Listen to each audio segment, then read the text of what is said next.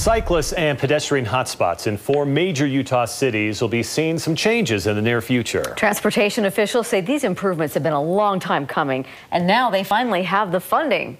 News specialist Nicole Vowell is live in Salt Lake City to explain.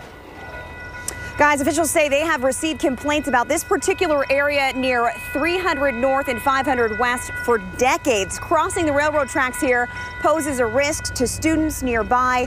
Now, a bike and pedestrian bridge is in the work, not, ju not just for here, though, for three different cities, thanks to a federal grant.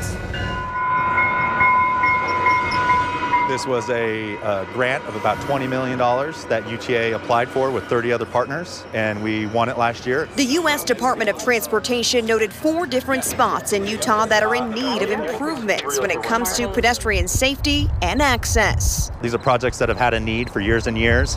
There just hasn't been a, a concise team and a, a program to bundle them together and get the funding, and that's here now. That funding will go toward building modernized pedestrian and bike bridges near Murray Park and the FrontRunner stations in the fast-growing cities of Provo, Lehi, and Salt Lake the underpasses and overpasses for pedestrians and bikes are always a problem. Ashley Cleveland lives near the location in downtown Salt Lake City, and as a regular pedestrian traveler, she says an improved bridge over this railroad is long overdue. You know, kids come from high school and there's no sidewalk right here, so you see kids, you know, sometimes dodging getting clipped, not necessarily because of the train, but because there's no sidewalk and they're walking in the bike lane. Cleveland attended a meeting here tonight to share her design design input on the project.